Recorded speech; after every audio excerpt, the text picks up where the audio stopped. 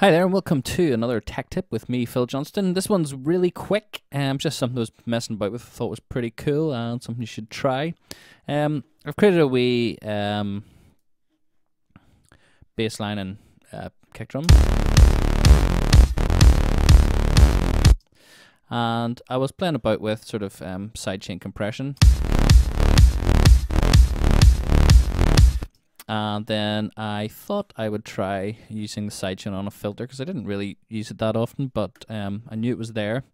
Um, so what what we're going to do is just basically set up a sidechain on uh, a filter to work in the same way as on the compressor. And what what's basically what you're going to do here is, or one one of the reasons that we use sort of sidechain compression on bass specifically is that when a kick and the bass hit at the same time, um, there's too much bass energy and it can sort of overpower our mixes. So what we tend to do with um, sidechain compression is just duck out that um, kick drum bass on the normal bass so that it's not playing at the same time. Um, but this obviously affects the full um, bass sound. So what we can do is use our auto filter to do the same sort of thing. We're going to create a, a side chain. We're going to have it from our drum rack and from our um, our kick drum. And then instead of it turning down the whole volume, what we're going to do is have it just, when the kick drum hits, just have it go up in frequency. So all we're really doing is then cutting out the, the bottom frequency. And what this does is keep the top end highs intact and um, just sort of ducks out the, the bass. So let's hear what that sounds like.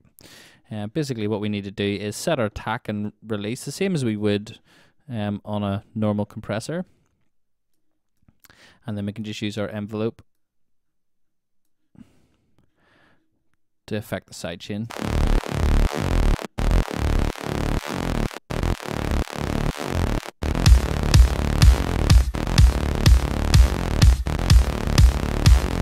So you're still getting a sort of the pumping effect in the on the bottom end, but you're you're not touching the top end as much. And then you can also play about with different effects.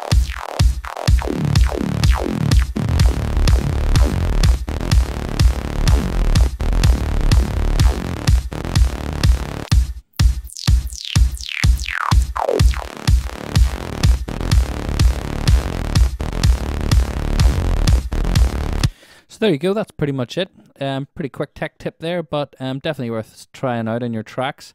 Um, thanks for watching, and I'll catch you next time.